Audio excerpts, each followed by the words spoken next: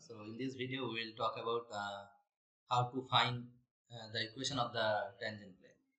So suppose, uh, so let us do this for two variable function first. So let us consider the function fxy. Suppose this some function z equal to fxy is given. So this is a two variable function of two variable. And suppose we want to find want to find the tangent of this function, tangent of the uh, surface uh, denoting by this function at the point p naught which is given as x naught comma y naught. Now this p naught has to be from the domain of A. Otherwise we how can we find the tangent of it? So this is in the domain of it. If now we want to find the equation of the tangent at this point uh, of the surface represented by this function.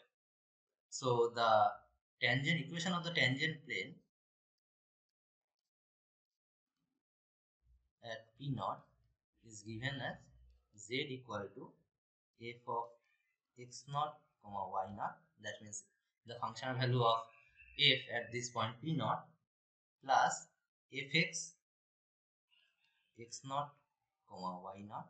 So the partial derivative of f with respect to x at the point x naught comma y naught into x minus x naught plus the partial derivative of f with respect to y at the point x naught comma y naught into y minus y naught. So this is the equation of the tangent plane at the point p naught of the given surface represented by fx y.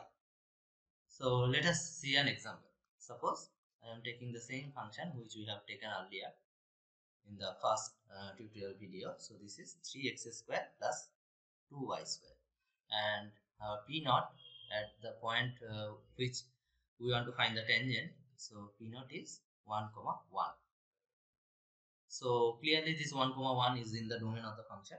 Now fx 1 comma 1 is basically so fx is basically 6x. So fx 1 comma 1 is 6 and fy x comma y is basically 4y. So fy 1 comma y is 4.